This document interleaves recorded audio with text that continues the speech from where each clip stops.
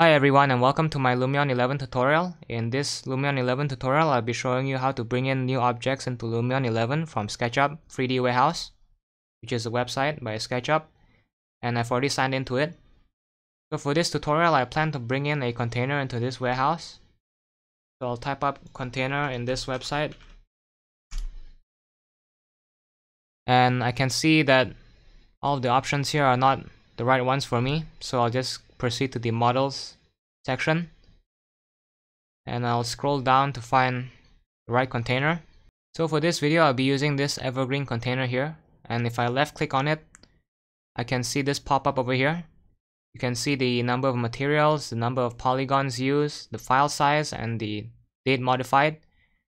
So if I want to download it, just click on the download button over here, which is actually a drop down. And there are many different options to download this container in. You can you can either download it as a SketchUp model from 2021 or 2020 or 2019. For this video, I'll be using a Collada file and I'll quickly save it. So once you've already downloaded the Collada file, just right click on it and extract all and click on extract. So this is the folder that we'll be able to see in Lumion. So now I will bring in the Collada file into this Lumion 11 file here. So proceed to the import new model button over here.